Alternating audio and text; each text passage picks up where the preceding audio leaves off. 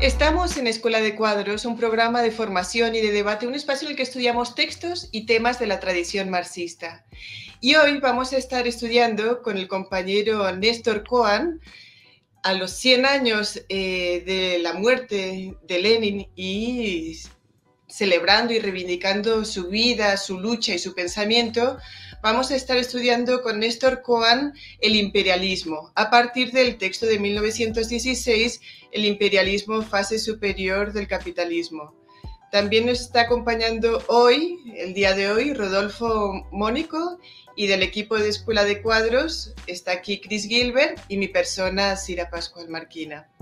Recuerden a los compañeros que nos están viendo que abajo pueden descargar el texto de Lenin, el imperialismo fase superior del capitalismo, y además también pueden descargar un texto eh, de Néstor Cohen que se llama Dialéctica del mercado mundial capitalista, el imperialismo y la dependencia. Un texto reciente que recomendamos y al que nos estaremos refiriendo también durante el día de hoy. Este texto está en un libro que se llama Teorías del imperialismo desde el sur global. Y por último, también se puede descargar abajo eh, Dialéctica de la Dependencia, el gran libro de Rui Mauro Marini.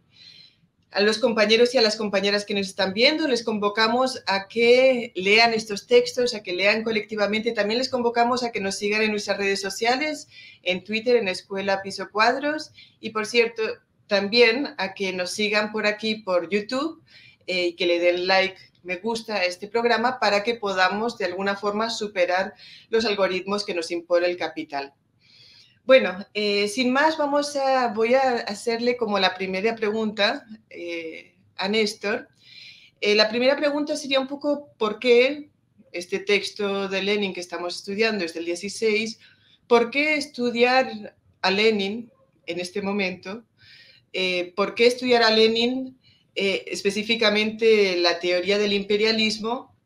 Y también en este primer momento, en el libro, eh, Lenin enuncia cinco elementos principales que de alguna forma caracterizan al imperialismo que él está estudiando. Entonces, si pudiésemos empezar por allí, Néstor, sería estupendo y muchísimas gracias por estar aquí con nosotras. ¿Por qué estudiar a Lenin hoy? Por múltiples razones y sobre todo este texto, ¿no? En primer lugar, me da la impresión, para salir de ese complejo de inferioridad de la teoría marxista y de la constelación, y si se quiere, si me permiten la metáfora, de la familia marxista, que hace varias décadas que está a la defensiva, a mi modesto entender. Eh, y esto no empezó en 1989 con la caída del muro de Berlín o a los poquitos años con la implosión de la Unión Soviética.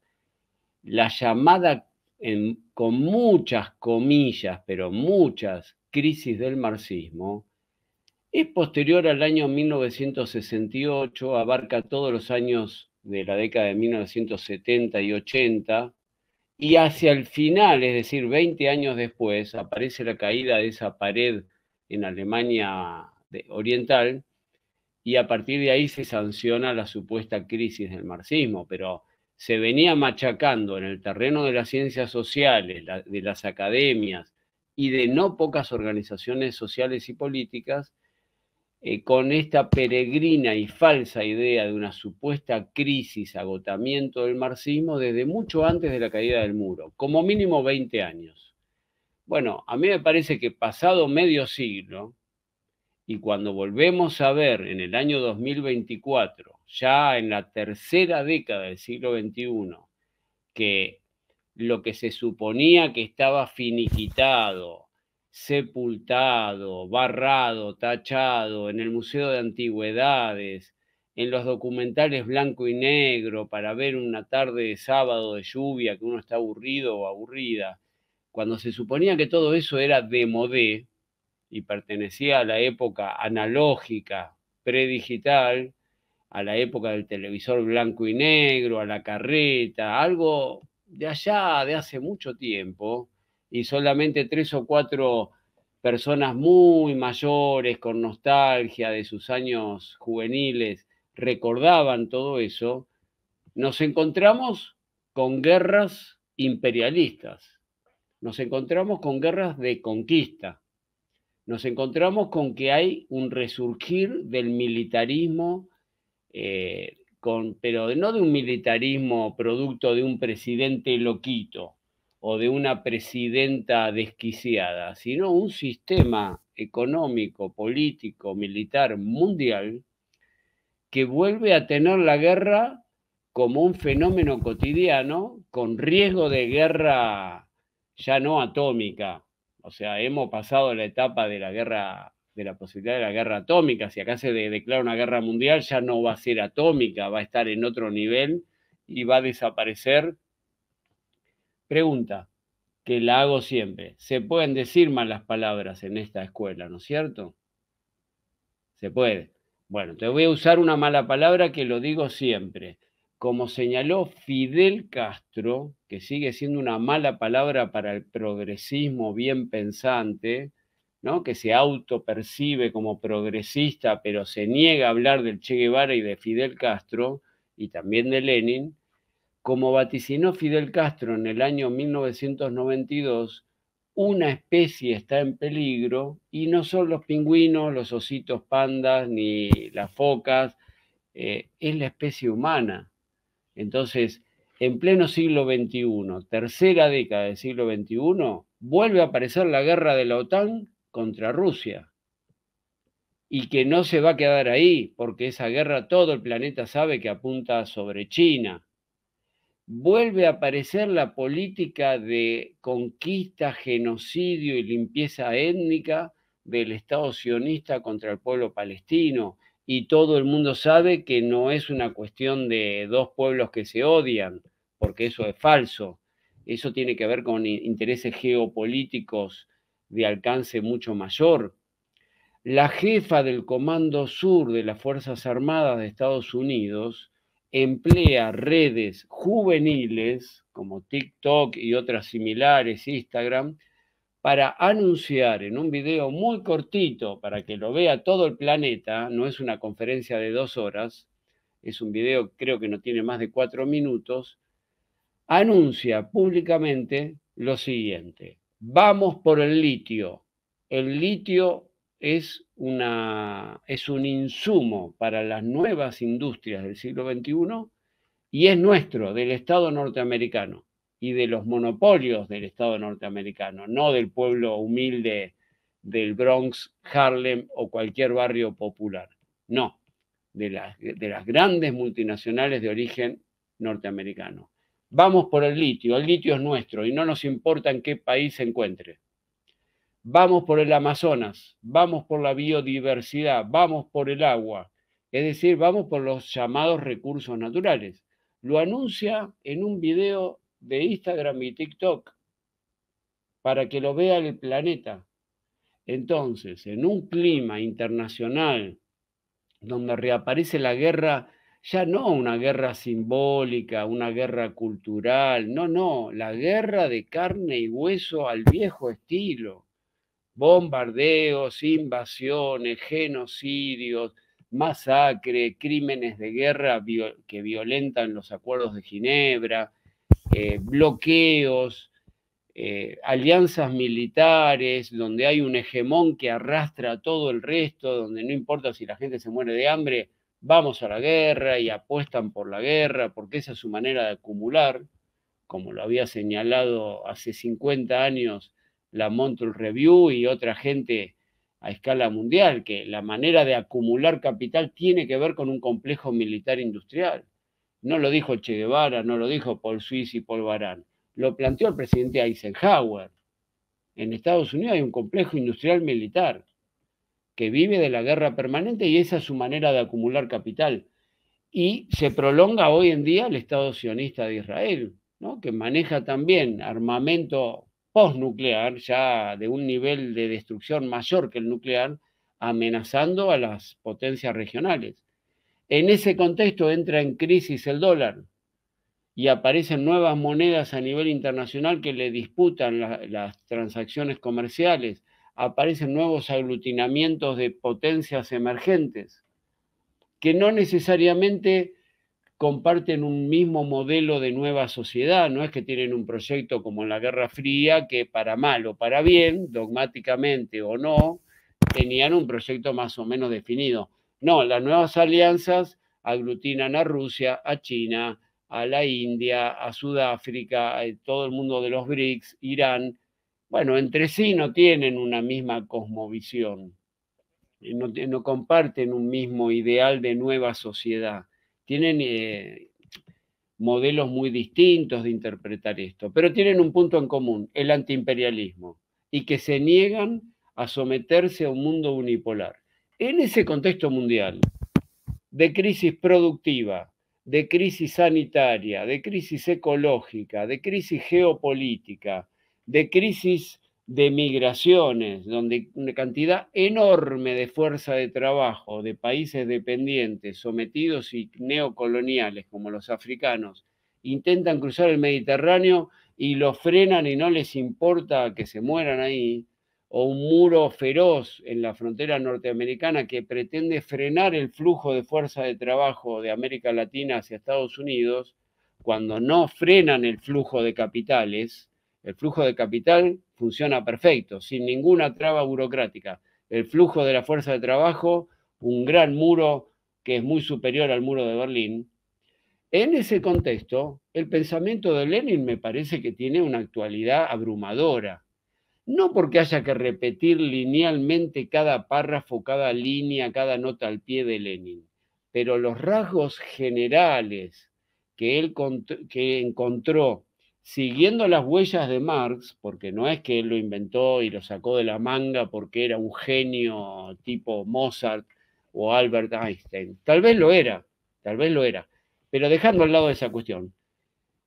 A partir del estudio de la ley de acumulación general del capital que Marx explica en sus diversas redacciones de El Capital en el tomo 1, y a partir del estudio de Hobson, que era un economista no marxista, que publicó un libro sobre el imperialismo, si no recuerdo mal, en 1902, a partir del estudio del capital financiero de Rudolf Hilferding, un marxista austríaco que si no recuerdo mal lo publicó en 1910, a partir del estudio de la acumulación del capital, una obra formidable de Rosa Luxemburg, que si no recuerdo mal lo publicó alrededor de 1912, y a partir de un libro de Nikolai Bukharin que le pidió el prólogo a Lenin y que debo reconocer que lo fotocopié gracias a, gente que integra esta escuela de cuadros, este libro, lo, La economía mundial y el imperialismo, acá viene con el sello de la escuela de cuadros, porque me hicieron el inmenso favor hace unos años de fotocopiarlo, yo no lo conseguía.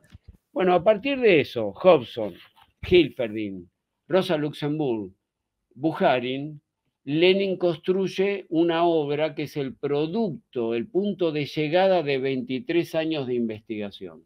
No es un folleto popular como habitualmente se lo menciona. Él era una persona muy humilde, escribía para la militancia popular, entonces muchas veces se toma como que, bueno, escribió un folletito de divulgación como para vender en los kioscos o en el metro, en el subte, alguien que está haciendo la cola del supermercado, se, se lee el folleto de Lenin mientras que está esperando que le toque el turno. No, no es así. Él lo formulaba estilo folleto, pero en realidad era la condensación de 23 años de investigación de Lenin. Nosotros lo intentamos reconstruir en dos libros que salió uno en Buenos Aires, que es este, una antología, Teorías del imperialismo y la dependencia desde el sur global, eh, donde escribimos 18 autores y autoras actuales, no solo del pasado, actuales, incluyendo David Harvey, John Smith, Andy Higginbottom, Adrián Sotelo y, y, varios compañeros y compañeras argentinos y argentinas, también Orlando Caputo, etcétera, y que salió en Venezuela Bolivariana por Editorial Trinchera, donde se hace este programa de la Escuela de Cuadros. Es el mismo libro. O sea, salió en dos ediciones. ¿no? Bueno, ¿qué intentamos hacer en este libro? Intentamos reconstruir, por lo menos en el estudio preliminar, esa, esos 23 años de investigaciones que Lenin le dedicó al estudio de este problema para llegar como punto de llegada a un supuesto folleto de divulgación que en realidad no tiene nada de folleto y menos de divulgación. es la síntesis, es como el universal concreto, es el punto de llegada de un programa de investigación. Y que nada menos lo publica en el medio de la Primera Guerra Mundial. Y sirvió como insumo para alimentar la formación de una nueva internacional, de una nueva corriente del marxismo revolucionario, que se va a llamar después la Internacional Comunista, ¿no? donde Lenin y Rosa Luxemburgo, a mi entender, son los principales aunque también se suma León Trotsky y otros más, Mao Zedong, mucha otra gente, Ho Chi Minh, mucha otra gente. Pero los principales, fundamentales, fueron Lenin y Rosa Luxemburgo, los que quiebran la primera internacional por sus traiciones, y este libro sirve para fundamentar por qué es necesario una nueva manera de comprender el capitalismo como sistema mundial y qué posición tienen que jugar ahí la gente revolucionaria. Yo quiero leer, si me permiten, muy cortito, son cuatro renglones, porque no quiero citarlo de memoria, todo lo que estudió Lenin para llegar a escribir este libro. Les digo brevemente, desde 1915, este libro se publicó en 1916, plena Primera Guerra Mundial, hace un siglo y pocos años. Lenin elaboró 15 cuadernos, que son estos. Se los voy a mostrar. Que son estos. Elaboró 15 cuadernos. O sea, en la edición en español son dos tomos. Bastante gorditos. Como verán, estos son insumos de estudios de Lenin. Esto no es un folletito para leer en el autobús, ¿sí? O en la playa. Esta es otra edición de los mismos cuadernos, es solo un tomo. Elaboró en estos libros que se conocen como los cuadernos sobre el imperialismo, que son sus insumos de lectura, elaboró 15 cuadernos donde extracta 148 libros Imagínense cuánto estudia una persona que hace una carrera universitaria. Hagan el cálculo. Siendo el mejor alumno, la mejor alumna, estudiará 50 libros en total.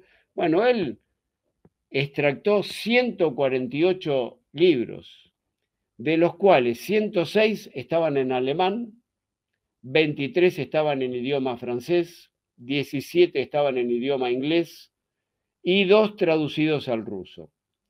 Por si no le hubiera alcanzado leer y extractar 148 libros,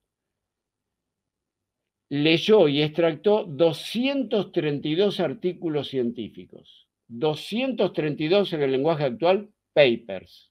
232, de los cuales 206 estaban en alemán, 3 en francés y 13 en inglés consultando 49 publicaciones especializadas que salían periódicamente. Imagínense el esfuerzo, el tiempo, la energía y la dedicación que le dedicó eh, Lenin para escribir este libro. Por eso cuando uno toma el folletito, que, que no tiene 1500 páginas, parece escrito en un fin de semana. No, tiene por detrás todo esto por no hablar de una cantidad enorme de polémicas, primero con los populistas en su etapa liberal, luego con los marxistas legales, luego con los economicistas, con Karkowski, con una cantidad de gente, con los austromarxistas.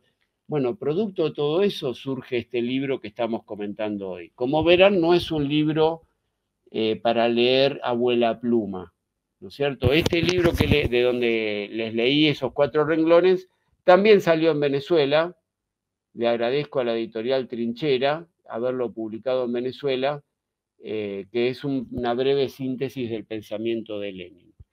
Y además, menciono esto y termino la pregunta, además de esa masa impresionante de insumos, de lo que significa un verdadero investigador, no la superficialidad que nos tiene acostumbrado eh, eh, el Banco Mundial y sus programas actuales donde hay que hacer un doctorado rápido, una maestría, cortar, pegar, sacar dos tonterías y hablar de pavadas. No, 23 años investigando, mientras militando, ¿no?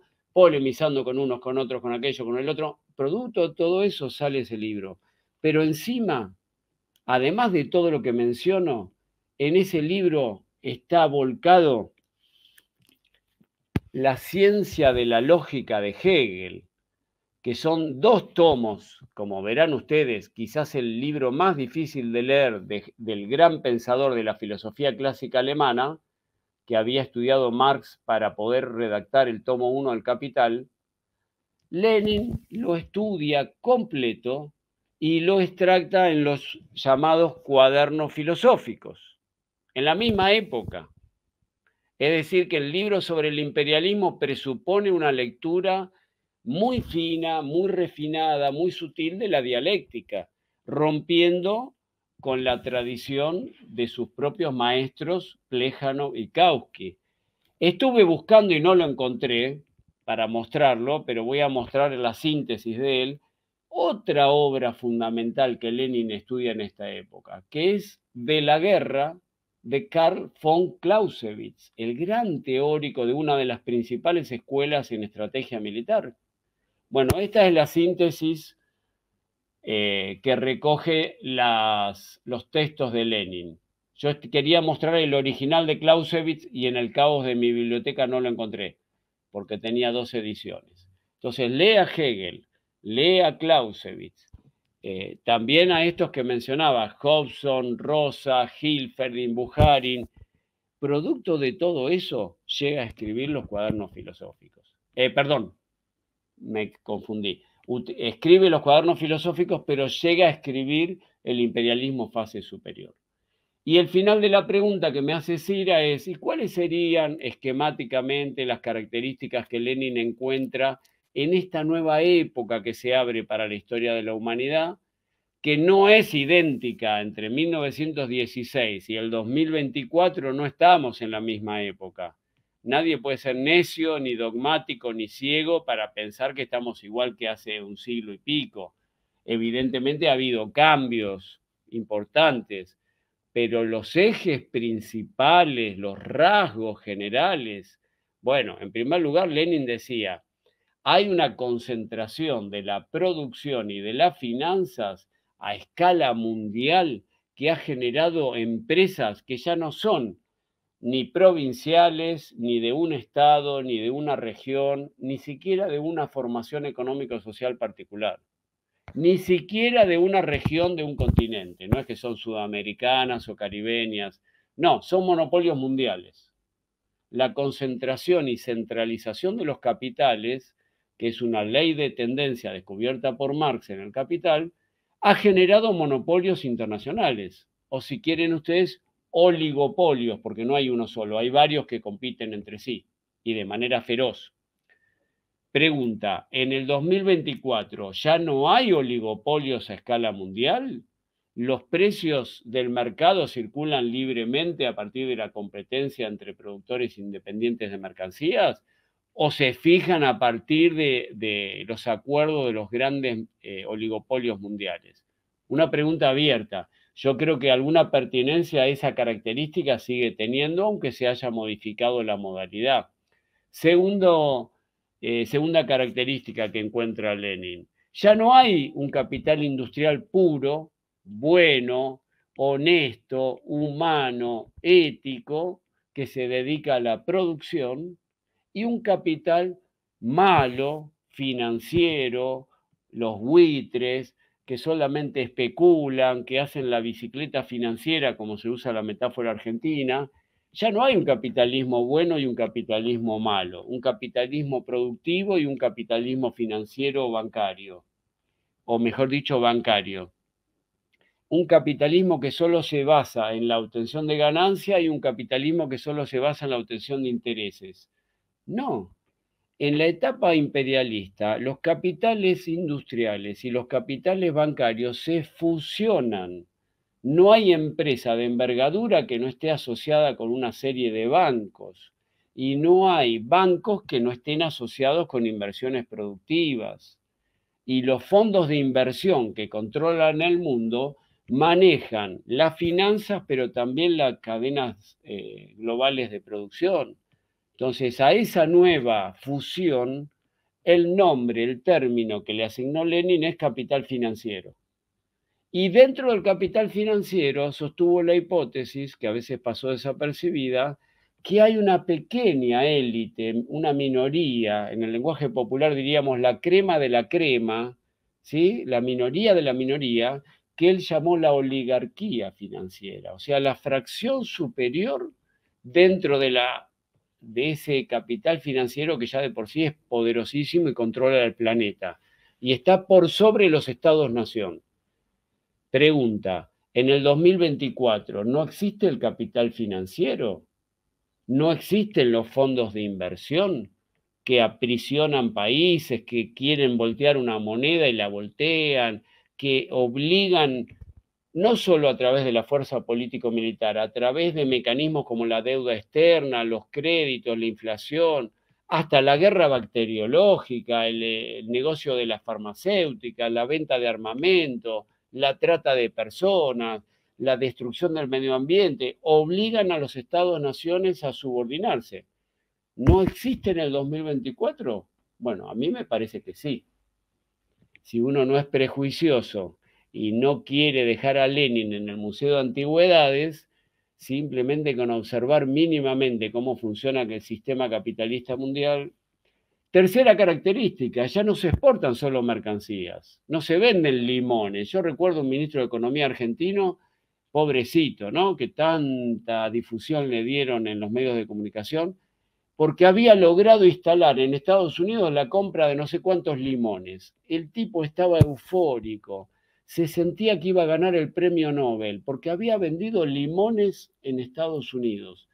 No, en el sistema capitalista mundial, lo que predomina hoy es la exportación de capitales, no de limones, no de naranjas no de, no sé, arepas o la comida que les guste, el taco, eh, las tapas españolas, las empanadas gallegas, lo que a ustedes les guste, ¿sí? Lo que cada uno, las papas fritas francesas. No, lo que se exporta son los capitales, ya no se exportan solo mercancías, se exportan capitales. Bueno, en el 2024, ¿no existe la exportación de capitales? Son preguntas que hago casi diría, eh, mentiría si son ingenuas, pero trato de asumir una posición cuasi ingenua. Y como verán, si uno no es prejuicioso, muchas de esas determinaciones del sistema capitalista mundial siguen existiendo. Probablemente se hayan profundizado, sean peores que en la época de Lenin, pero no desaparecieron. Una quinta eh, observación o determinación que Lenin encuentra en el sistema mundial imperialista. La Asociación Internacional de los Capitales. Los capitales ya no funcionan de manera aislada. Entonces Monsanto y Bayer, que se suponía que eran grandes competencias entre sí, o casualidad, pasan a formar parte de la misma empresa. Unos producían glifosato derivado de la gente naranja, los otros eran los herederos de la empresa nazi IG Farben, que fabricaba el gas para asesinar en masa a la población prisionera de los nazis. Estas dos empresas tan maravillosas, altruistas y humanitarias se unificaron, los del glifosato con los del gas de los campos de concentración, y formaron una misma empresa. Esa tendencia a la Asociación Internacional de los Capitales. ¿No existe más hoy en día? Bueno, si uno mira el mundo sin prejuicios, me parece que la respuesta es bastante clara. Y por último, cuando insisto, la vuelvo a nombrar no porque le tenga cariño, ni simpatía, ni, ni, ni una personal admiración, ¿no? Eh, pero cuando esta excelentísima señora comandanta del Comando Sur del Ejército de Estados Unidos dice, vamos por el litio, vamos por el agua, vamos por el Amazonas, todo eso es nuestro, nos repartimos el mundo y pretende reactualizar la doctrina de Monroe y Adams dos siglos después, bueno, Lenin decía, el quinto rasgo del sistema económico mundial imperialista es el reparto del mundo por las grandes potencias. Entonces, cuando yo escucho en la televisión que el Amazonas ya no es más de Brasil, de Ecuador ni de Colombia, sino que o de una parte de Bolivia o una parte de Perú, no, el Amazonas es de la humanidad, por lo tanto, traduzcamos, es de Estados Unidos, eh, no hay más reparto del mundo. Cuando hablamos de los diamantes de Sudáfrica, cuando hablamos del petróleo en el oriente, eh, y entonces aparece una potencia emergente que quiere hacer la ruta de la seda y lo amenazan con que le van a hacer una guerra nuclear. Entonces eh, la otra potencia emergente que quiere, digamos, resurgir de la implosión que sufrió en 1991, dice, bueno, le vamos a brindar petróleo más barato a Europa. Y aparecen agentes de inteligencia bombardeando esos, esos gasoductos, que lo sabe todo el planeta, que no explotaron porque un pescadito se metió en, en un agujero del caño. Explotaron porque fueron atentados terroristas, lo sabe el planeta eso. ¿No se está repartiendo el mundo? Entonces, bueno, esas cinco características que Lenin encontró en el sistema económico capitalista mundial, me parece que reformulados, ya no estamos en la etapa de la radio ni de la televisión blanco y negro, ya no estamos en la etapa del video analógico, sino del digital, ya no estamos en la computadora Commodore, sino estamos en la época de otro tipo de computadoras. Pero las características centrales, a mi entender, siguen teniendo vigencia. Por lo tanto, creo que una gran tarea, me adelanto al final de esta clase, una gran tarea de las izquierdas en plural, y los movimientos sociales y populares y nacionales y los movimientos de liberación nacional y todo el mundo de las rebeldías, una tarea fundamental es asumir como eje principal la lucha antiimperialista, sin abandonar el objetivo socialista, sin abandonar la tradición roja. Pero no se puede ser de izquierda no se puede ser revolucionario o revolucionaria si uno no es antiimperialista. Descreo de cualquier relato académico que deje de lado el antiimperialismo, porque o está financiado por la embajada norteamericana o son unos burros marca cañón. No encuentro otra respuesta. Bueno, gracias, eh, gracias por la exposición de, todo el pensamiento, ¿no? Y sobre todo de las cinco fases. Una cosa que me llamó la atención fue el ensayo que dices que como que desarrolla de una manera muy lógica, algo que a mí por lo menos se me había pasado por alto cuando leí, leí el libro hace unos años y lo repasé un poquito antes de, esta grabación.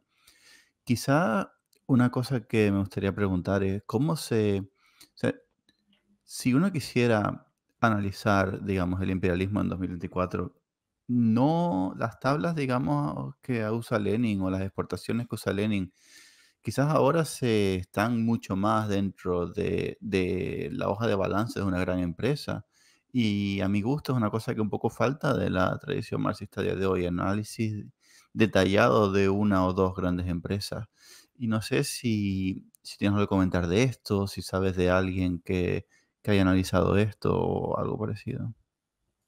Mira, Rodolfo, es muy buena tu pregunta porque justamente yo puse en la primera parte el énfasis en las continuidades para enfrentar que el, el, intento de aniquilar a Lenin por decreto, por capricho, por mero arbitrio.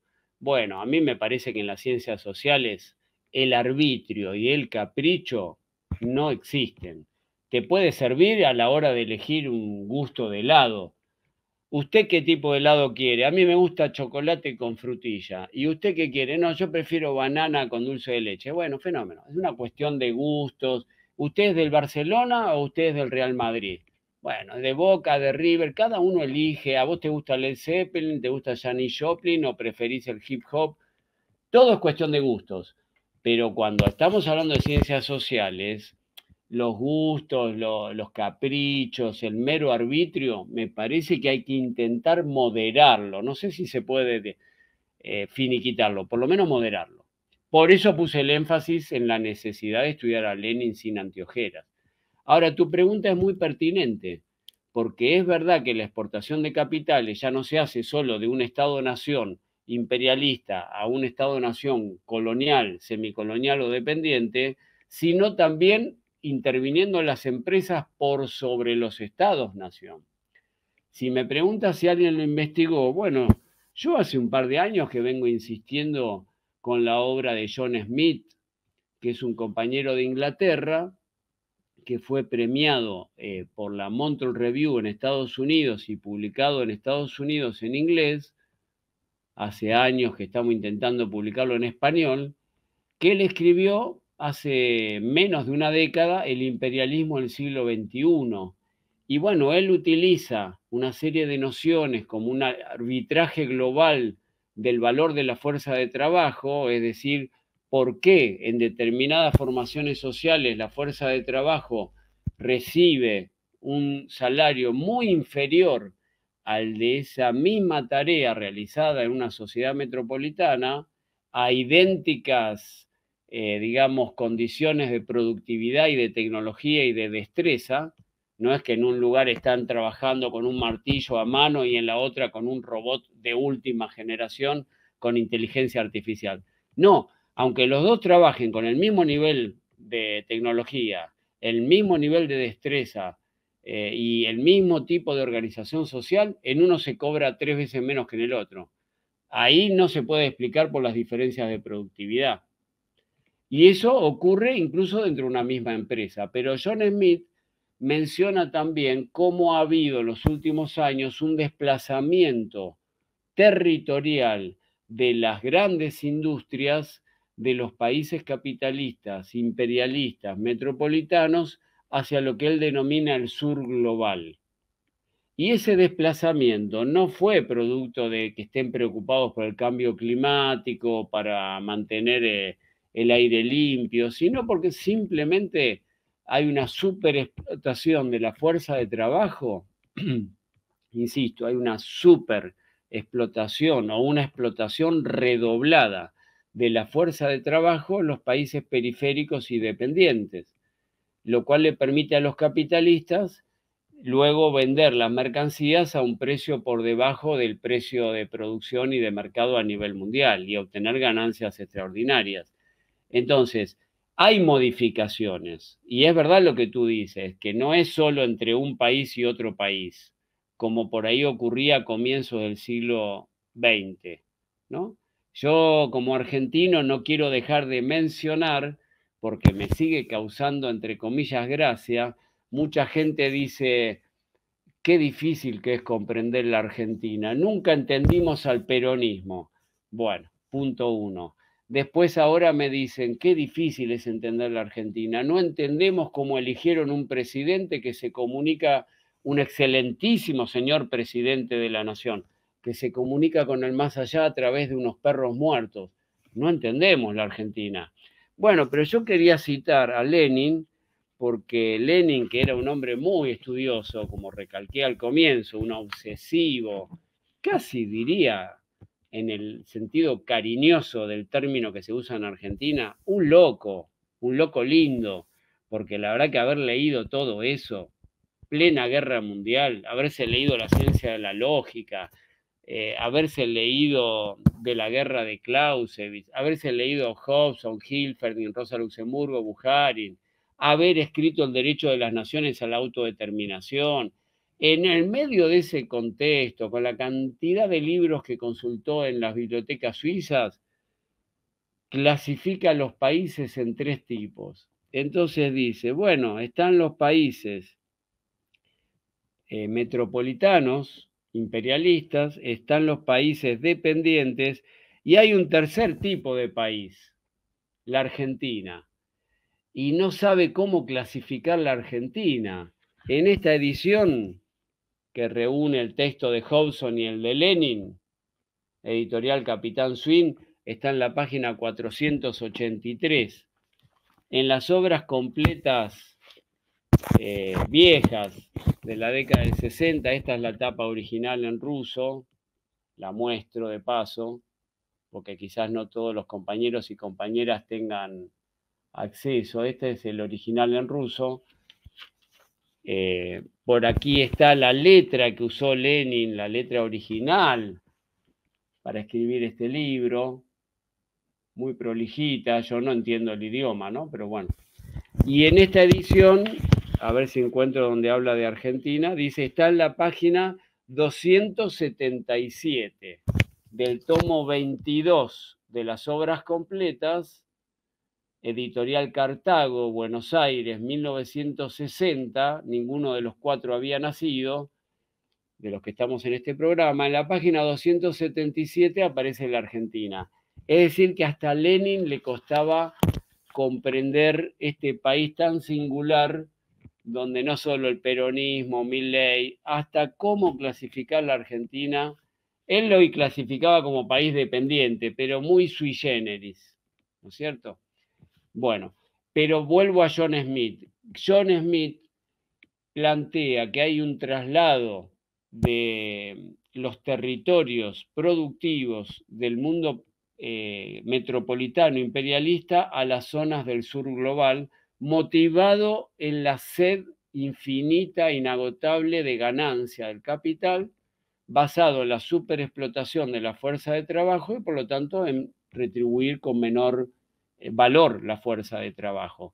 Yo creo que la reflexión de mm, John Smith aporta mucho a una renovación de los estudios sobre el imperialismo que ya 50 años antes la había hecho Rui Mauro Marini, en un texto que ustedes en la escuela de cuadros le han dado mucha importancia, Dialéctica de la Dependencia, es un libro pequeño, también como el de Lenin es, el, es la síntesis, es el punto de llegada de una sistematicidad lógica que si uno lo ve cortito y tiene apenas 100 páginas, dice, bueno, esto es un folleto.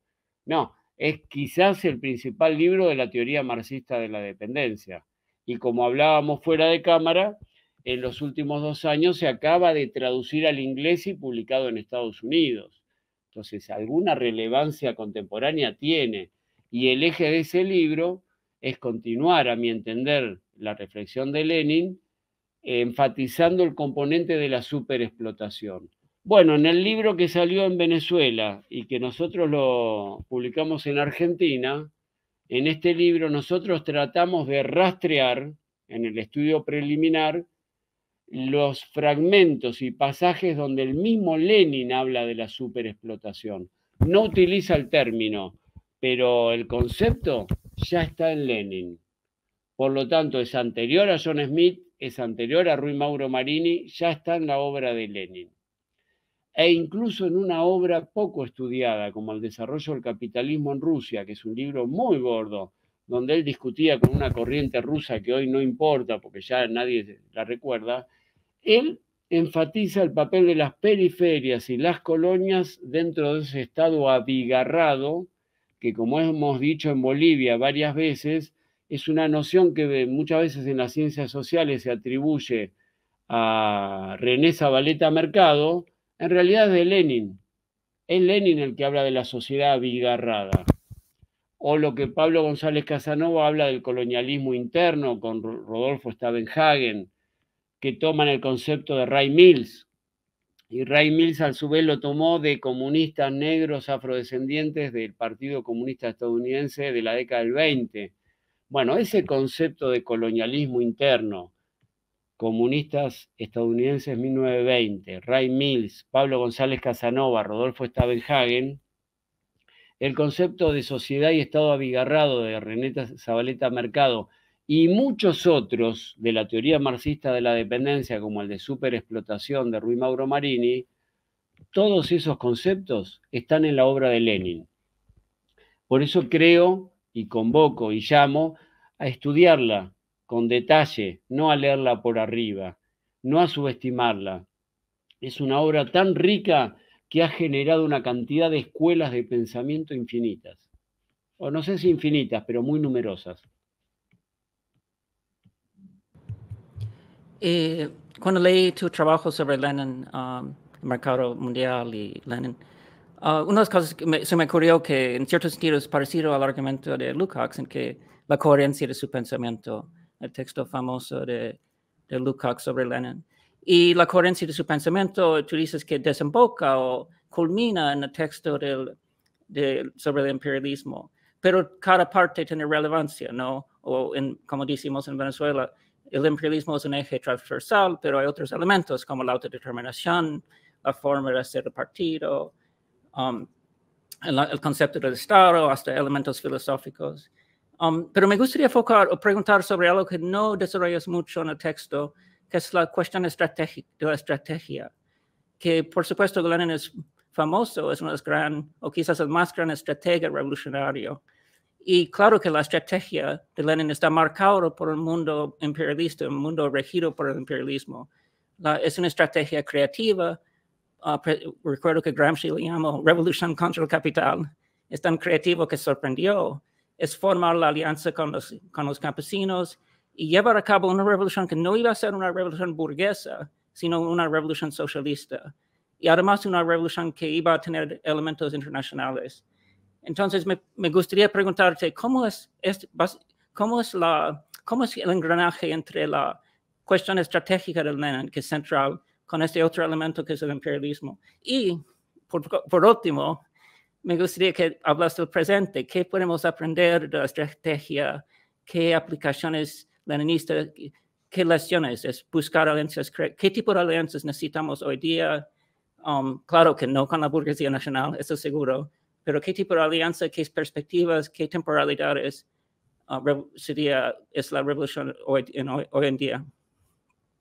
Bueno, abordaste muchos temas. Voy, voy por partes. En primer lugar, creo que cuando fallece Lenin, el texto de Lukács, que me tocó el honor de prologar, Lenin, la coherencia de su pensamiento, la hipótesis central de Lukács, que está escrita apenas un año después de Historia y Conciencia de Clase, bueno, eh, ese joven Lukács, digamos que se ve impulsado por un entusiasmo desbordante, no voy a usar la palabra euforia porque sería casi despectiva, pero un entusiasmo desbordante porque piensa, eh, y creo que no estaba errado en ese momento, que los bolcheviques se iban a tragar el mundo, o sea que la revolución socialista se iba a generalizar de una manera eh, como un reguero de pólvora.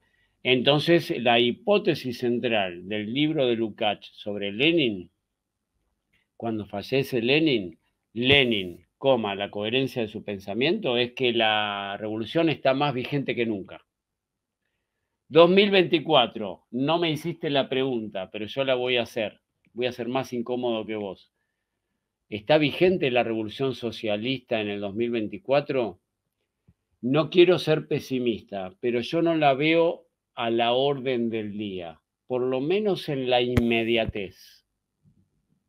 Tal vez se reinstale, porque no creo en el determinismo, ¿no? A veces suceden fenómenos, procesos sociales donde emerge lo nuevo, lo inesperado, ya pasó muchas veces en la historia, y la dialéctica no, es justamente un método que nos permite captar esos saltos en la historia. La historia nunca tiene un tiempo lineal, como lo criticó Walter Benjamin, como lo critica Lenin, como lo critica Gramsci, como lo critica Lukács. Eh, hay saltos, ¿no? Entonces, puede haber un salto. Hoy, fines de enero del 2024, no veo a la orden del día la actualidad de la revolución socialista. Por eso comenzaba la exposición diciendo que lo que yo veo es una lucha antiimperialista mundial que ha puesto en crisis al imperialismo occidental, europeo occidental y sionista, ¿no? que es, digamos, eh, la extensión de su brazo Medio Oriente, pero lo que predomina hoy es una lucha antiimperialista no un programa socialista rojo, bolchevique, comunista. Por eso Rusia, China, Irán, la India, Sudáfrica, Brasil, todo lo, que forman los BRICS, etcétera, no convergen en la resistencia frente al mundo unipolar, al predominio del dólar, a la, digamos, la prepotencia de la OTAN, la NATO pero no se proponen un proyecto de, una nueva sociedad socialista comunista, al menos por ahora. Entonces, esa hipótesis fuerte de Lukács, que celebra frente al fallecimiento de su maestro Lenin, eh, hoy me parece que habría que tomarla con pinzas. Enero del 2024 no quiere decir que en marzo no cambien las cosas, o no quiere decir que en el 2026 no cambien las cosas, porque la historia pega saltos inesperados. Pero yo a fines de enero del 2024 no la veo de una abrumadora actualidad. Por ahora, el proyecto socialista comunista quedó a la espera. ¿sí? Los sueños más nobles que elaboró la humanidad, para usar una expresión del Che Guevara, están a la espera. No están muertos, no están olvidados, pero están a la espera. No están más vigentes que nunca. Eso en cuanto al primer libro que mencionaste de Lukács sobre Lenin. Segundo tema que mencionaste, la estrategia. Bueno, acá viene la discusión. En la internacional comunista, donde Lenin funda una nueva corriente, creo que ha ayudado con no pocas discusiones, porque discutieron cinco veces Lenin con Rosa Luxemburgo. En cinco ocasiones discutieron. Y a pesar de eso, yo me tomé el trabajo de leer gran parte de la correspondencia personal de Lenin y veo un dirigente duro, un dirigente seco, combativo, exigente, en el buen sentido, ¿no? Él era un revolucionario, se estaba jugando la vida y sabía que estaba en juego la vida de millones. Era muy seco, era muy duro en su correspondencia. La única vez que lo veo, no digo ablandarse, pero emocionarse, eh, hacer un, elogio no desmedido, infinitamente merecido, pero hacer un elogio sin ningún reparo es cuando asesina a la socialdemocracia a Rosa Luxemburgo. Nunca vi a Lenin alabar a alguien tanto como a Rosa Luxemburgo. Porque incluso cuando evalúa a sus propios compañeros y compañeras del partido bolchevique, es muy duro con todos. Con todos con Stalin, pero también con Trotsky, con Bukharin, a todos le señala, es muy bueno en esto, pero falla en esto, el otro es brillante acá, pero le falla esto. Cuando habla de Rosa, dice, se pudo haber equivocado, tal vez voló bajo alguna vez, creo que se refiere a su crítica de los esquemas de reproducción del tomo 2 del Capital, pero más allá de eso, dice, es un águila, es un águila y ninguna gallina de la socialdemocracia jamás la va a poder alcanzar. Nunca escuché a Lenin, nunca leí a Lenin alabar a alguien tanto como a Rosa. Y con ella construyó una corriente que es la internacional comunista.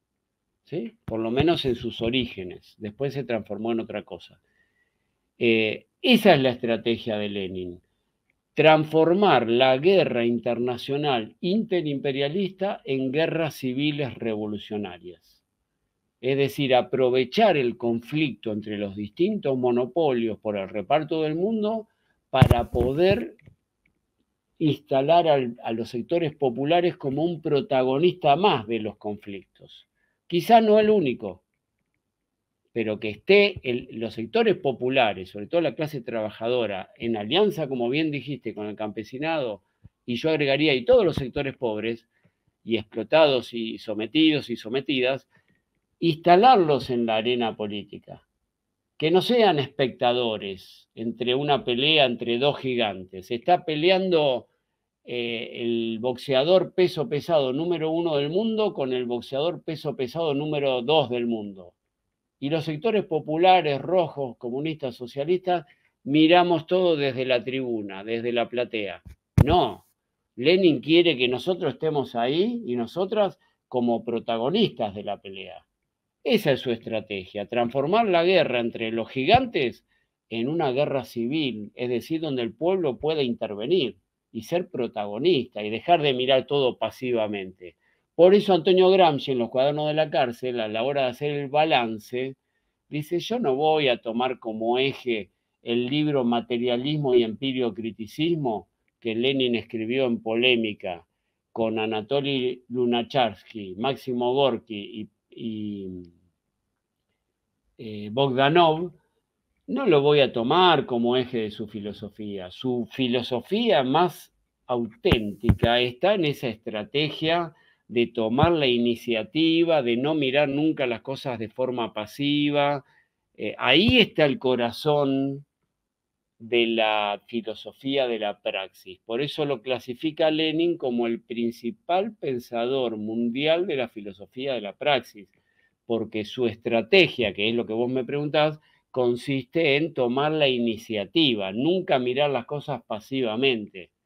Incluso si se están peleando dos osos gigantes, tratar de meter en el medio el tercer elemento, que es el movimiento revolucionario y transformarla una crisis y una guerra mundial en una crisis y una guerra civil para tomar el poder en cada una de las formaciones sociales e iniciar la transición al socialismo. Creo que ese era el eje de la estrategia. Ahora, no lo convierte nunca en un sistema dogmático, porque lo va variando de acuerdo al momento histórico. Cuando ve que hay un momento de reflujo, dice hay que pasar a la clandestinidad. Incluso llega a decir, no participemos en elecciones, boicotémosla. En otro momento dice, sí, participemos en elecciones. En otro momento dice, no, hay que retroceder y hay que aliarse con otra gente para que no nos golpeen, porque si nos quedamos solos nos aplastan. En otro momento dice, bueno, estas alianzas por ahí hay que dejarlas en un segundo plano y hay que avanzar. Ofensiva, ofensiva, ofensiva. Es muy flexible Lenin. Tiene una sutileza eh, por eso digo que es una persona de un pensamiento político muy refinado. El que cree que es un bruto, que escribió tres consignas de ocasión, desconoce olímpicamente la obra de Lenin. Creo que ese es el corazón de su estrategia. Y va variando, incluso de formación en formación económico-social, porque dice en un momento cuando la izquierda más radical del internacional comunista dice, no participamos en elecciones, hacemos el boicot absoluto, toda política es burguesa, eh, participar nos mancha. Él escribe un texto polemizando con esa corriente. Él mismo que había corrido por izquierda a todos, a los bolcheviques, a los socialistas revolucionarios herederos de los populistas, incluso a León Trotsky. Perdón que lo diga, pero hasta lo corrió por izquierda a Trotsky, corrió por izquierda a todos. Pero cuando vio que cambió la correlación de fuerza, no se quedó abrazado a un dogma.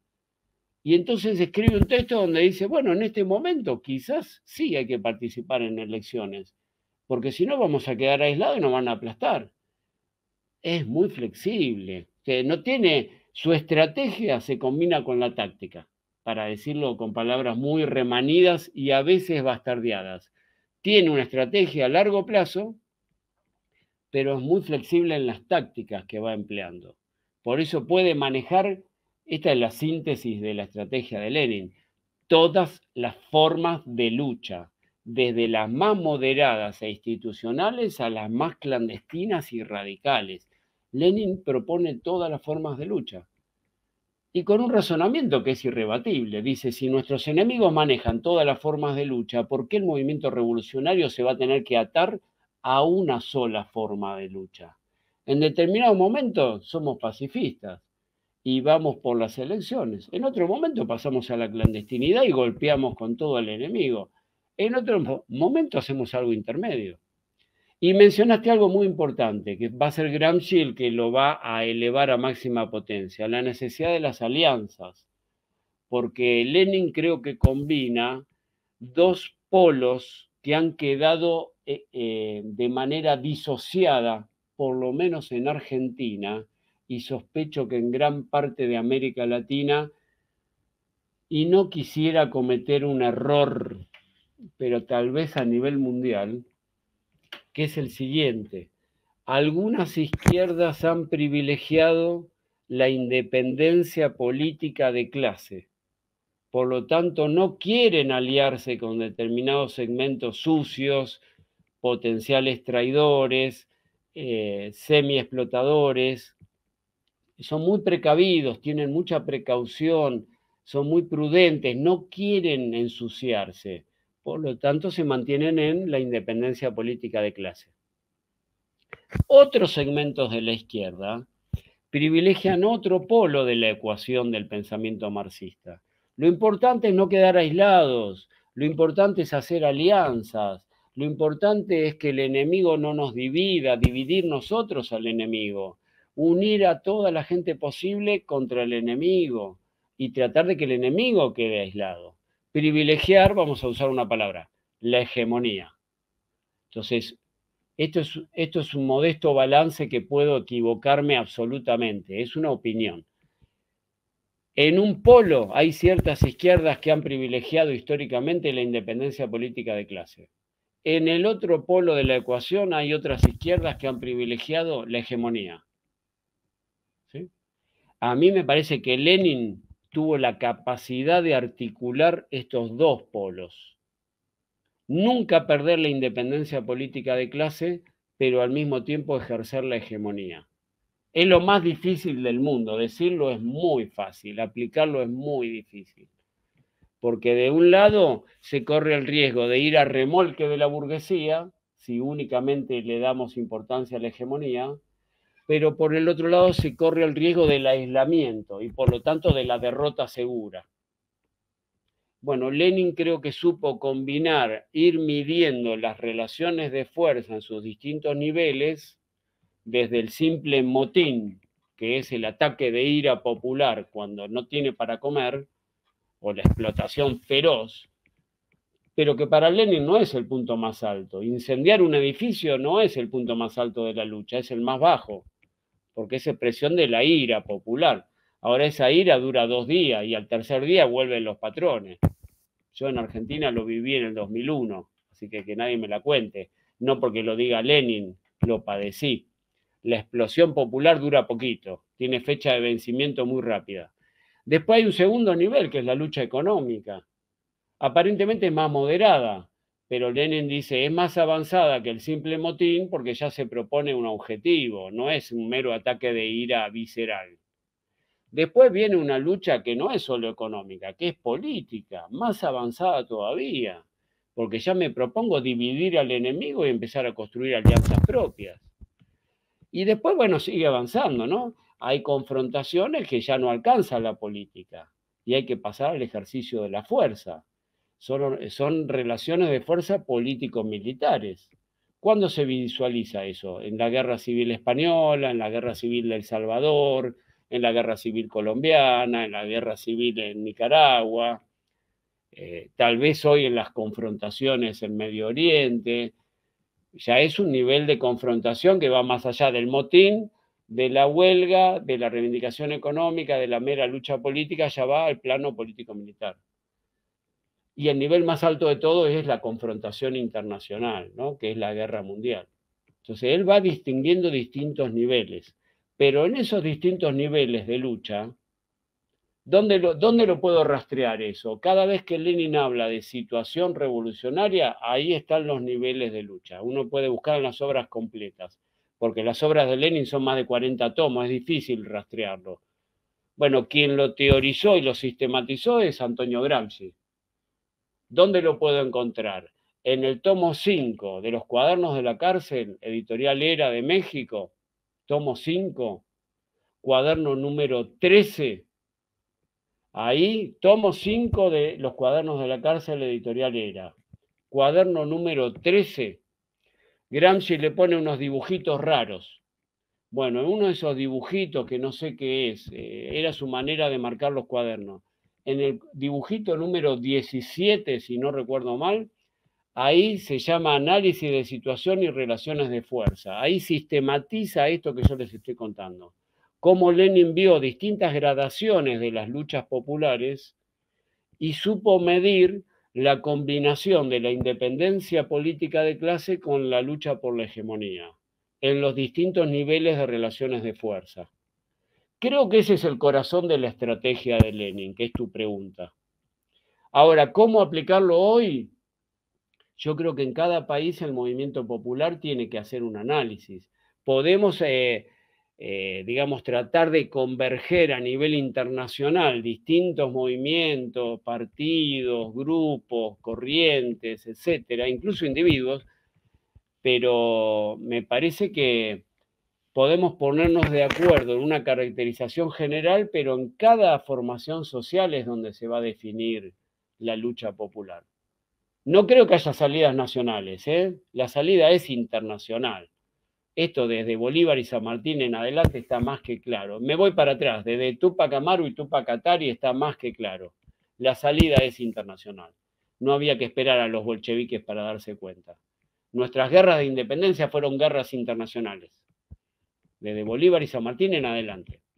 Y te vuelvo a decir, desde las insurrecciones indígenas del siglo XVIII en adelante la salida es internacional, pero en cada país hay condiciones diferentes. No es lo mismo que gobierna en Argentina una mezcla de neoliberalismo furioso con neofascismo contrainsurgente a que gobierne un socialdemócrata como Petro en Colombia. No es lo mismo. Entonces la estrategia no puede ser exactamente la misma en Buenos Aires que en Bogotá, porque vamos a, hacer muchos líos, para decirlo elegantemente, si cometemos los errores del pasado. Pero tu pregunta es muy profunda, ¿cómo definir la estrategia de Lenin? Bueno, hay una cantidad de libros importantísimos para estudiar eso. Yo te la resumo en 15 minutos, pero me parece que el corazón de su estrategia es poder distinguir niveles de las relaciones de fuerza. Dentro de esas relaciones de fuerza, agrego algo que no dije, que lo toma de la ciencia de la lógica de Hegel, y el que lo explicó de manera muy pedagógica fue Mao Zedong, porque tenía un público semi-analfabeto en China, eh, donde dijo hay que distinguir las contradicciones que son centrales y principales de las que son importantísimas pero que no juegan el principal papel. Yo alguna vez, si me permiten, voy a hacer una experiencia de la Argentina. Yo escuché un movimiento piquetero una vez hace muchos años decir en el 2001, es una metáfora popular que les voy a contar, para bajar a tierra cómo el pueblo interpreta estos textos tan densos a nivel teórico. Dijo así, tenemos 10 enemigos, tenemos tres balas. No podemos enfrentar a los 10 enemigos al mismo tiempo. Hay que saber visualizar de los 10 cuáles son los tres principales. Y una vez que esos tres quedan de lado, ahí seguimos por los otros siete. No queda más remedio. Nos encantaría que los diez terroristas asesinos no estén más, pero en la vida real no pasa eso. Entonces, Lenin, ¿qué hace? Elige enemigos principales y enemigos secundarios. Entonces, ¿y por qué elige eso? ¿Porque es un etapista? No, porque tiene una concepción de las contradicciones que nunca las limita a una mirada de manual de la dialéctica, donde habría una sola contradicción simple que se despliega, se despliega a lo largo de la historia. No, en el capitalismo real, en el sistema capitalista mundial, hay una multiplicidad de contradicciones. Y creo que una posición leninista, una estrategia leninista debería poder distinguir cuáles son las principales de cuáles son las secundarias sin caer en el etapismo.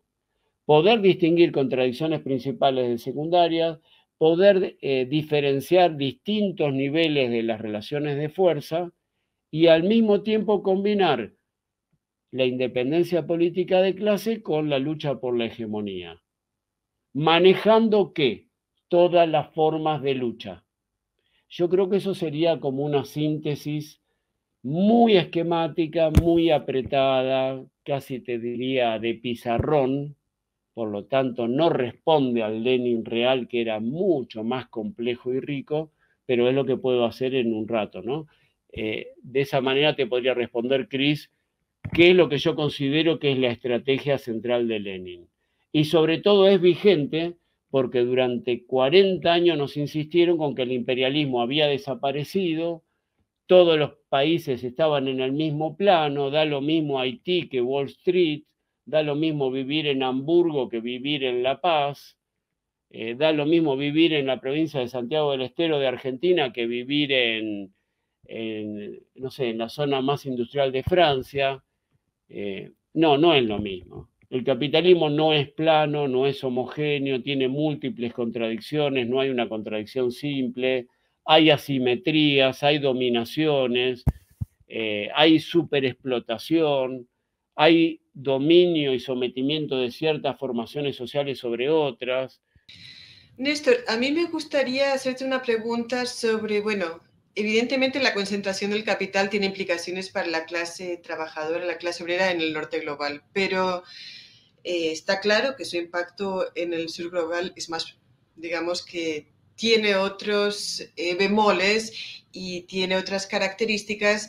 Y Rui Mauro Marini, eh, leyendo a Lenin y leyendo la realidad en la que estaba, bueno, él precisamente en el texto que antes nos enseñabas, Dialéctica de la Dependencia, y en otros textos, bueno, él va de, alguna forma trazando con la forma en la que la concentración, o sea, el imperialismo, eh, es como estructura económica, cómo afecta eh, las periferias o el sur global. Eh, y cómo se formula específicamente eh, la extracción de, capitales del sur global, etc. Entonces, si pudiésemos brevemente hablar de nuestras realidades, ¿no? de nuestras realidades en el sur global, con los aportes de Lenin, pero también con los aportes de Rui Mauro Marini. ¿Cuáles serían los elementos con los que debemos comenzar para entender nuestras realidades leyendo tanto a Lenin como a Rui Mauro?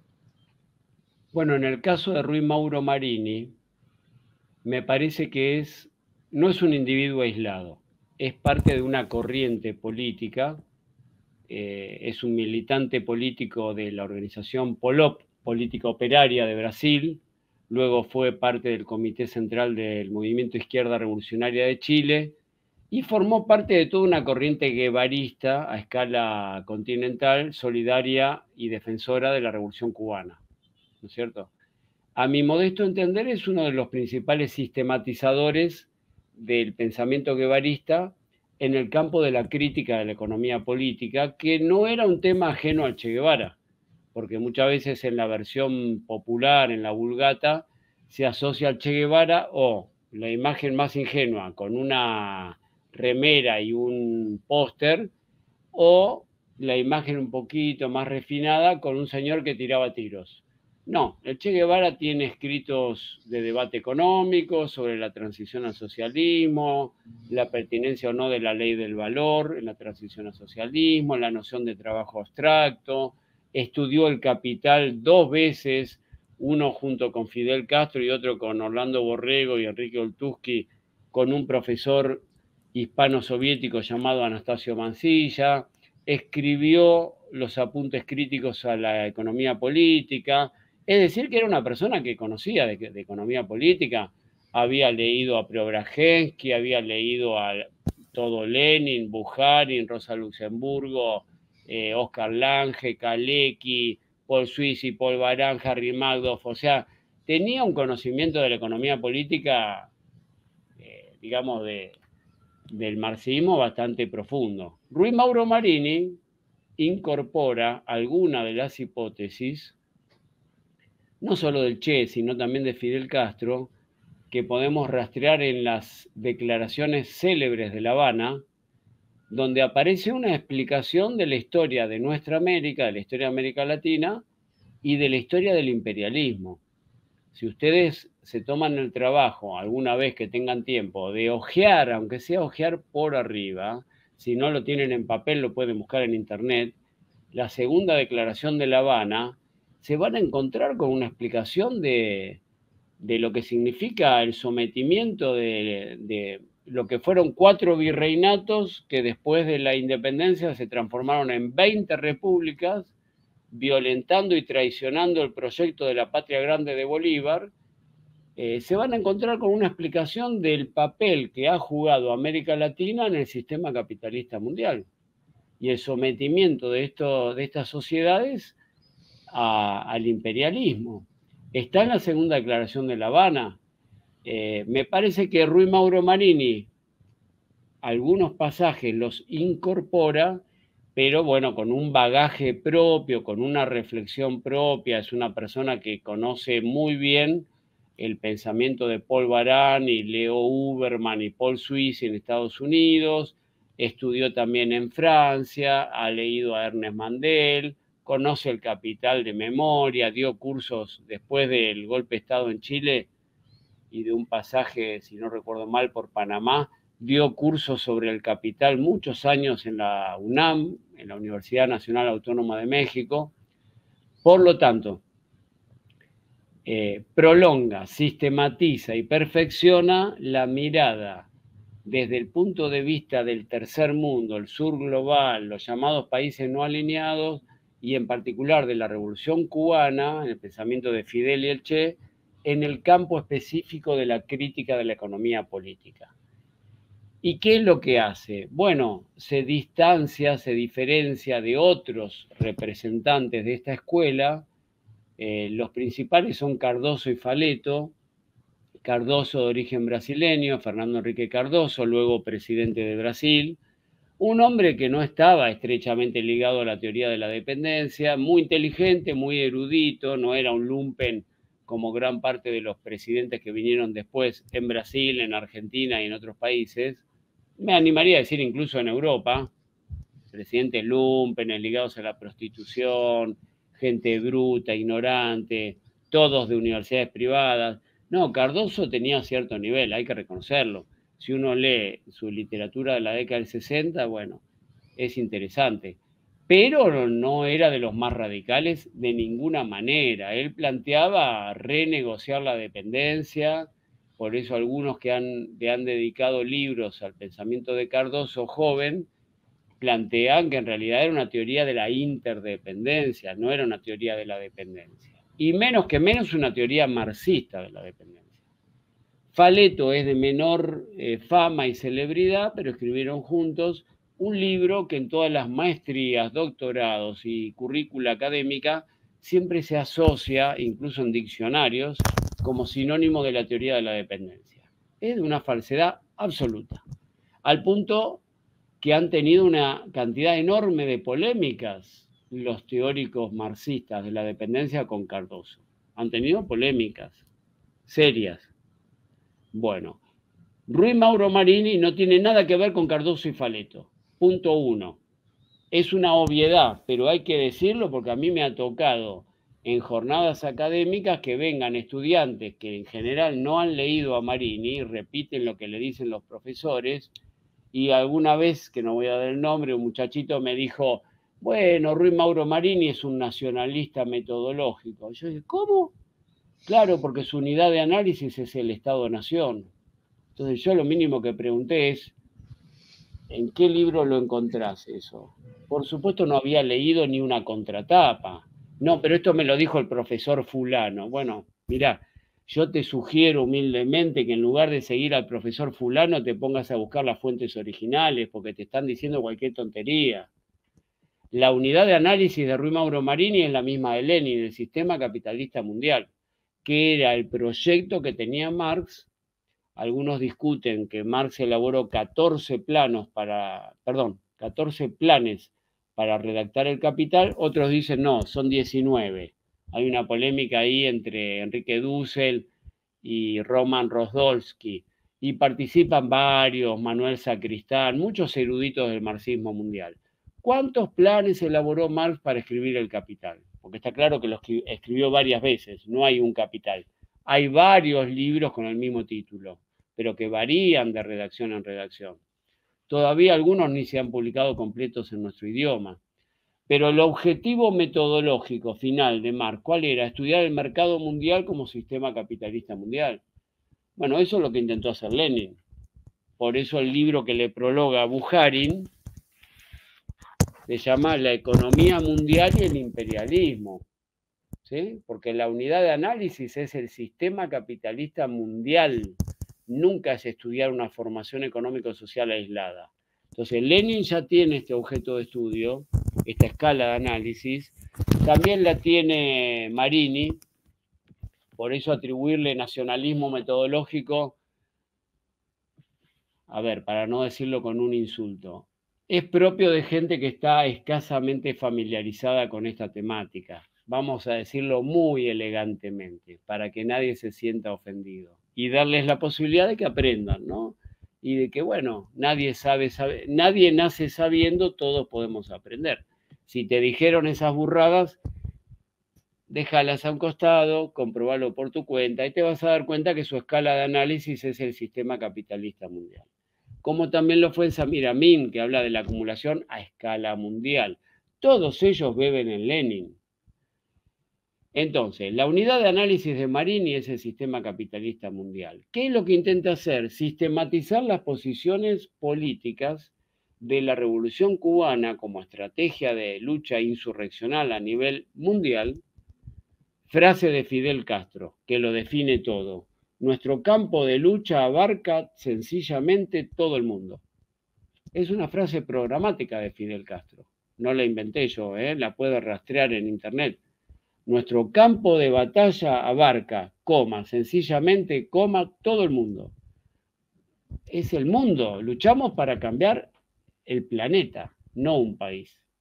Por eso atribuirle nacionalismo metodológico es tener mala fe o ser muy ignorante. Ruiz Mauro Marini sistematiza esto, pero lo hace, bueno, el primer artículo en la reconstrucción que yo hice, donde expresa la noción de superexplotación, que a mi modo de ver eh, es fundamental, es digamos su gran aporte, no lo inventa, porque yo rastreé que esto ya lo formuló Lenin. Si yo no recuerdo mal, porque lo estoy citando de memoria, pero en este libro, no me lo voy a poner a leer ahora, pero en este libro si no recuerdo mal, ya en 1907, Lenin plantea que todos los pueblos coloniales y sometidos, que en el lenguaje de aquella época, o por lo menos en las traducciones, lo denominaban los pueblos indígenas, pero no se referían a nuestros pueblos originarios, eran los pueblos coloniales, las periferias. Él dice, los pueblos indígenas, al menos así dice la traducción al español, mantienen no solo a toda la sociedad capitalista colonial o dependiente, sino que también mantienen a toda la metrópoli imperialista. Es un concepto de superexplotación o explotación redoblada donde la fuerza de trabajo de los países dependientes tienen doble explotación en la espalda tienen que aguantar a su burguesía propia y encima tienen que aguantar a la burguesía metropolitana, ¿sí? a, un capitalismo que eh, funciona no de manera local ni nacional, funciona a escala internacional. Bueno, eso que plantea Lenin, si no recuerdo mal, en 1907, Ruiz Mauro Marini lo sistematiza y lo publica por primera vez, si yo no recuerdo mal, en la revista Tricontinental, que era una revista que expresaba políticamente las posiciones de la Revolución Cubana. Luego lo formula en la revista Montreal Review, que es una revista norteamericana impulsada, como ustedes saben, por Paul Sweezy, Paul Baran, Leo Uberman, Harry Magdoff y varios más, eh, que sacaba ediciones en español, suplementos, pequeños en español, eh, que todavía se consiguen usados. Él creo que por segunda vez utiliza el término en, esa revista, en la Montreal Review, que expresaba el marxismo antiimperialista dentro de los Estados Unidos, estrechamente solidario con, las insurgencias del tercer mundo, al punto que Paul Suisse y Paul Baran le dedican el capital monopolista nada menos que a Che Guevara. Más claro, hay que echarle agua como dice el refrán popular. Entonces, primero lo formula en la revista Tricontinental, luego lo formula en la Montreal Review y finalmente lo incorpora a sus libros, Subdesarrollo y Revolución, bueno, y una serie de obras que terminan en esta sistematización lógica, porque acá hay un predominio de lo lógico por sobre lo histórico. Ustedes saben que Marx siempre dijo a la hora de hablar de su metodología y su epistemología, yo tenía dos maneras de exponer el capital. Y Engels dice lo mismo. Podíamos exponer nuestros descubrimientos de manera histórica, haciendo la historia del capitalismo, o podíamos exponerlo de manera lógica. Me da la impresión que Marx combina ambos procesos. Empieza en el capítulo 1 con su máximo nivel de pureza conceptual en un plano lógico, lógico dialéctico, por eso sigue casi al pie de la letra la doctrina de la esencia de Hegel, ¿no? que es el segundo momento de la ciencia de la lógica de Hegel. Así comienza el capital, siguiendo la doctrina de la esencia del segundo momento de la ciencia de la lógica, en un plano de alta abstracción metodológica, pero en otros capítulos de la obra, Marx eh, se ocupa de la cuestión histórica. Por ejemplo, el capítulo La jornada laboral. 100 páginas larguísimas donde te habla de la historia de la lucha de la clase obrera inglesa. Lo mismo podríamos decir de la acumulación originaria, el capítulo 24 del tomo 1, privilegia la historia, no porque no tenga importancia metodológica ni conceptual, pero privilegia un relato histórico. Entonces va combinando lo lógico con lo histórico. Esta no es una simple opinión mía, yo creo que uno, un pensador que lo sistematizó de manera brillante fue Hindrich Seleny, en un libro que se llama La estructura lógica del capital de Marx. ¿no? Y a su modo, eh, Georgi Lukács, en Historia y Conciencia de Clase, llega a la misma conclusión. Pero me parece que Selení lo formula de manera incluso más ordenada. Eh, bueno, Rui Mauro Marini también tenía esa opción, que es la de todos los marxistas. Ernest Mandel también se enfrentó a eso cuando escribe el Tratado de Economía Marxista en tres tomos, 1962, Ernest Mandel te hace una historia del capitalismo, casi mezclando incluso la historiografía con la antropología y la etnología, y comienza hablando de las sociedades originarias, comunales, hace una historia del capitalismo. En cambio, cuando escribe el capitalismo tardío o las ondas largas, Mandela hace una exposición mucho más lógica, no te cuenta la historia. Todos los marxistas que conozcan en profundidad han hecho esto. Rosa Luxemburgo hace lo mismo. Cuando hace una introducción a la economía política, hace una historia. Cuando escribe la acumulación de capital, privilegia lo, lo lógico. Perdón.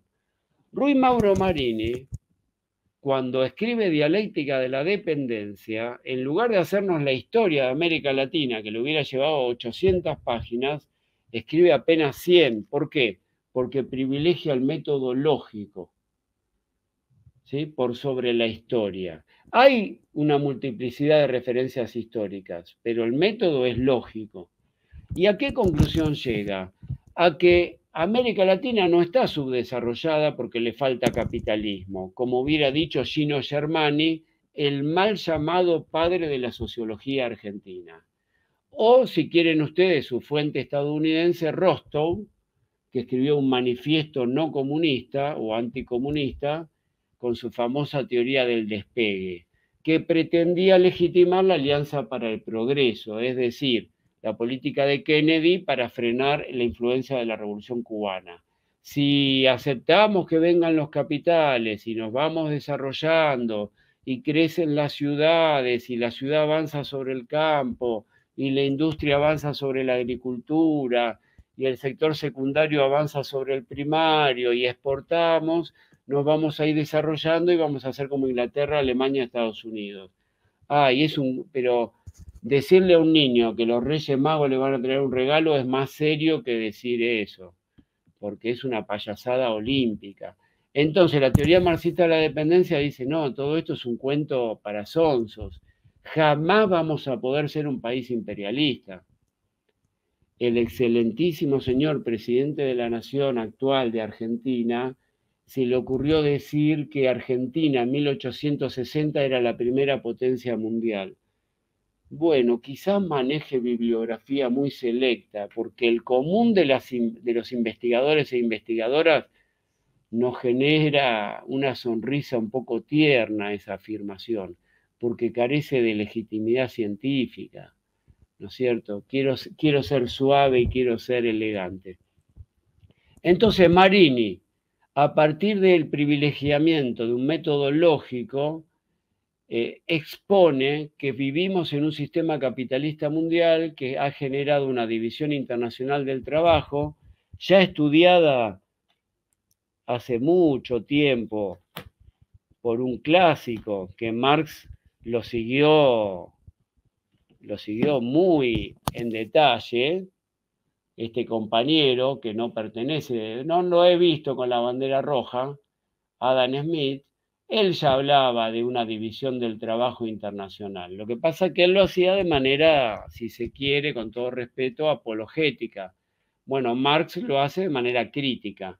Y Marini redobla la apuesta y dice, bueno, este sistema capitalista mundial está conformado por países metropolitanos imperialistas, semiperiferias, que él toma como ejemplo empírico a su país, Brasil, que en algún momento juegan el rol de subimperialistas, es decir, países sometidos pero que al mismo tiempo someten, y países dependientes, coloniales, donde estaría la Argentina y otros países de la región. ¿no? Entonces hace una gradación, señala que hay flujos de capital entre esas distintas formaciones económicos sociales, esos flujos de capital no determinan la dependencia. Este es el gran equívoco de quienes acusan a Marini de ser, voy a usar un término técnico si me permiten, circulacionista, es decir, que el origen del plusvalor y la ganancia vienen del mercado y de los intercambios mercantiles. Eso es un error. Marini nunca dijo que el, origen de la ganancia y el plusvalor derivan del mercado porque eso sería estar en la órbita de Adam Smith. Por eso muchos acusan al circulacionismo de ser neo-smithiano. No, Marini dice, la clave de esto es la superexplotación de la fuerza de trabajo, la clave está en la producción y que no puede ser reducida a las diferencias de productividad. No es que Noruega tiene una productividad más alta que Ecuador y por eso su estándar de vida es más alto y se queda con parte del plusvalor que se produce en Ecuador. Eso es falso, porque en dos empresas, una de un lado de la frontera de Estados Unidos y una de la frontera de México, una maquiladora, las dos pueden tener el mismo nivel de productividad, pero a la fuerza de trabajo en el Estado de México se le paga un tercio de lo que se le paga en Estados Unidos. Eso no depende del nivel de productividad técnica. Hasta Ernest Mandel, que se consideraba un marxista ortodoxo, le concede al argumento de Marini una alta plausibilidad.